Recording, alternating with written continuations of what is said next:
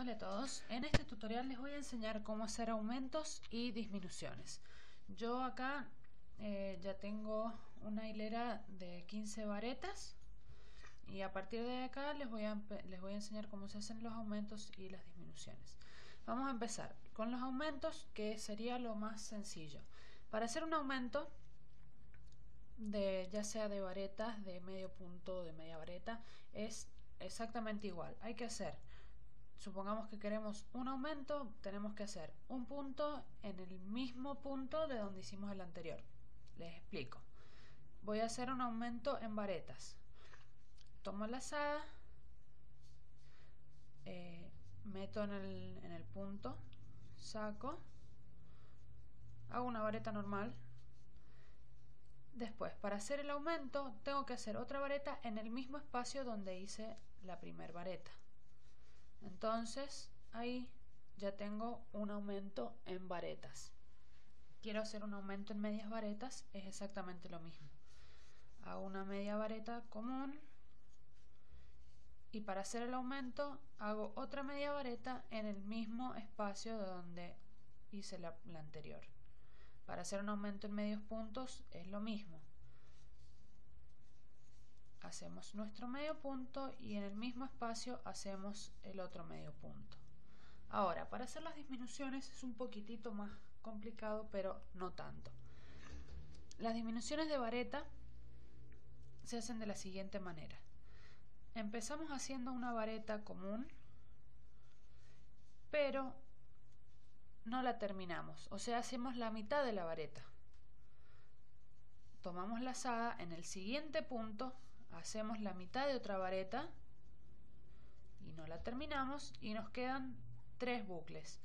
Ahora tomamos la lazada y pasamos por estos tres bucles y ya nos queda la disminución. Repito hacemos tomamos la lazada pasamos por el punto tomamos la lazada tomamos la lazada y pasamos por los dos primeros dejamos esto así con los dos bucles.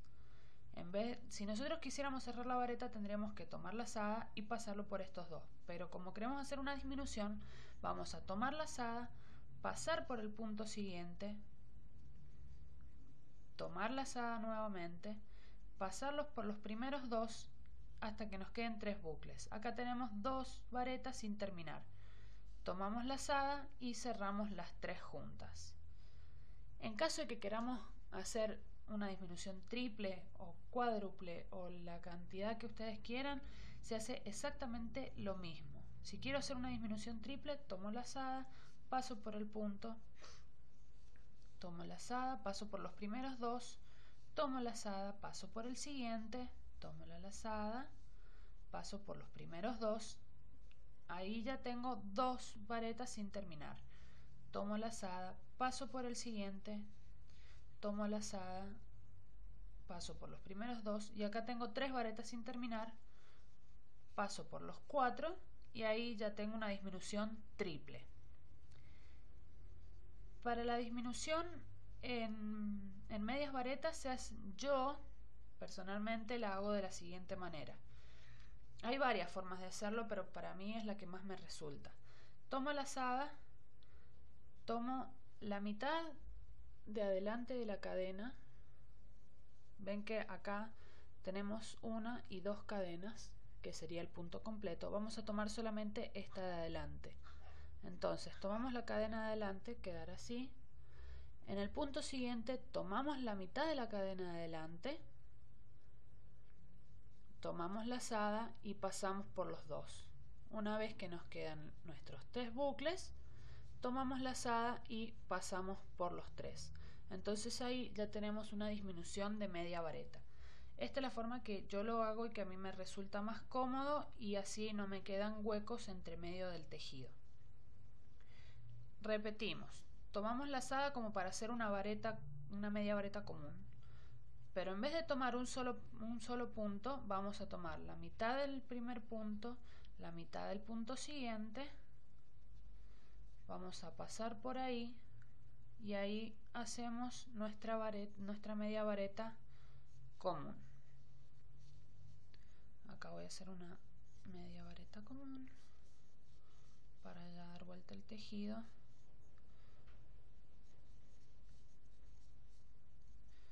Bueno ahora para hacer la disminución en medio punto se hace exactamente igual que la disminución en media vareta tomamos la mitad de la cadena la mitad de la siguiente y hacemos pasamos por los dos y hacemos nuestro medio punto normal. Tomamos la mitad de la cadena la mitad de la cadena del punto siguiente pasamos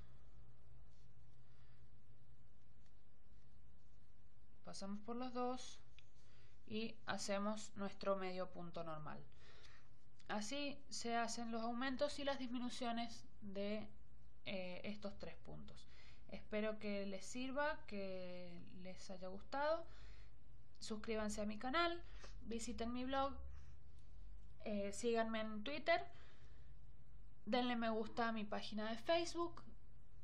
Si quieren pueden agregarme a mi perfil de Google Plus. Y bueno, nos vemos en el siguiente tutorial. Música